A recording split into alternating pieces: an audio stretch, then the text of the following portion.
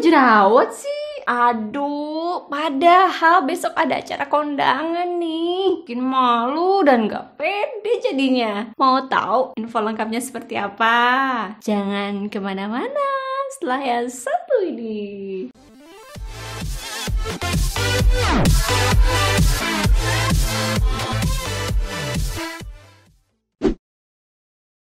Iya iya iya, kembali lagi dengan Kak.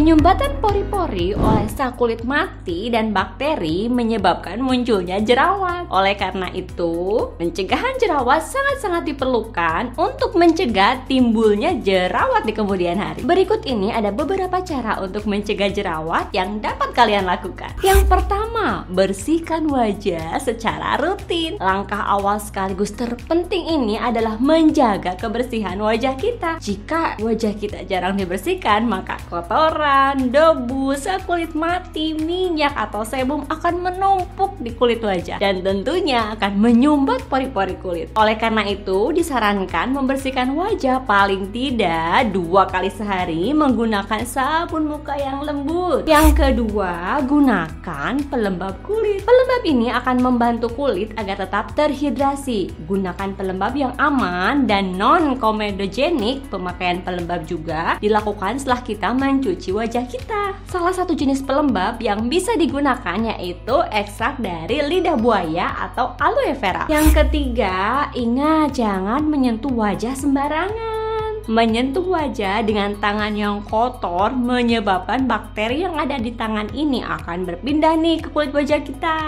So, wajah pun beresiko terjadinya jerawatan. Terdengar mudah bukan? Tapi kebiasaan ini sering banget nih kecolongan. Karena sering tanpa disadari kita ini ngucap mata hmm, Kemudian juga menopang pipi dengan tangan kotor kita. Yang keempat, batasi penggunaan make up Sebagian orang akan mencoba menutupi jerawat dengan menggunakan make up Padahal hal ini justru dapat menyebabkan penambahan penyumbatan pori-pori. Oleh karena itu, batasi pemakaian make up Jika ingin merias wajah, gunakan produk yang aman dan yang sudah tersertifikasi. Jangan lupa bersihkan sisa make up di wajah. Yang kelima, gunakan tabir surya. Sinar ultraviolet matahari dapat meningkatkan peradangan dan juga kemerahan yang dapat menyebabkan hiperpigmentasi atau terjadinya pasca inflamasi yaitu perubahan warna menjadi gelap. Nah, untuk itu batasi waktu di bawah sinar matahari. Jangan lupa kenakan pakaian pelindung seperti kemeja lengan panjang, celana, topi, dan lain-lain. Dan juga gunakan selalu tabir surya untuk menahan paparan sinar matahari yang bisa menyebabkan kulit kita rusak. Kemudian juga menyebabkan kulit dehidrasi. Karena dehidrasi pada kulit ini akan memicu kulit memproduksi lebih banyak minyak dan membuat jerawat mudah muncul kembali. Pastikan juga tabir surya yang digunakan yaitu dapat menghalau sinar UVA dan UVB untuk melindungi kulit dari keriput dan juga mengurangi resiko terkena kanker kulit. Yang keenam, menjalankan gaya hidup sehat. Gaya hidup yang sehat ini sangat berperan penting dalam solusi melawan jerawat dalam jangka waktu yang panjang. Di antaranya, batasi konsumsi gorengan, makanan cepat siap saji, kemudian juga perbanyak konsumsi buah, sayuran, biji-bijian. Jangan lupa lakukan olahraga secara rutin dan perbanyak konsumsi air putih dan hindari stres. Sedangkan bagi kalian yang sudah terlanjur terkena serangan jerawat ini, maka jangan khawatir.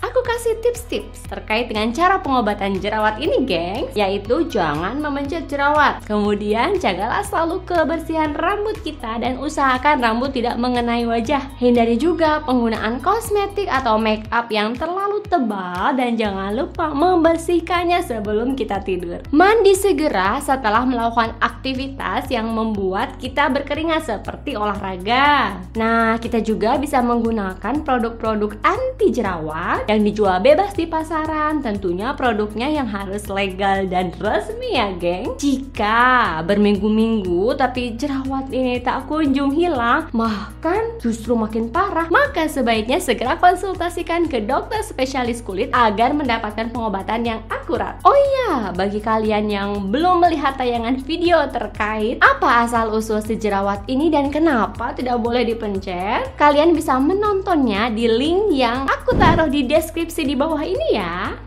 Nah, sekian video dari saya. Dipersilahkan share dan sebarluaskan video-video ini agar ilmunya tidak hanya berhenti di kalian, sehingga membawa kebaikan bagi banyak orang. Nantikan video-video menarik lainnya terkait kesehatan hanya di channel ini ya. Semoga bermanfaat dan jangan lupa bahagia.